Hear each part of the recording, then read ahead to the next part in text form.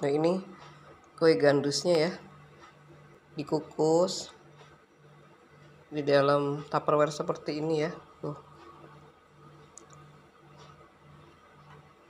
Ditaburin dengan bawang goreng daun seledri ebi dan cabai merah. Tuh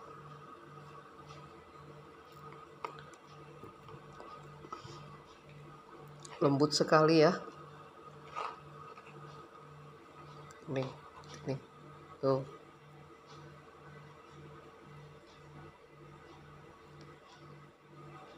Bismillah.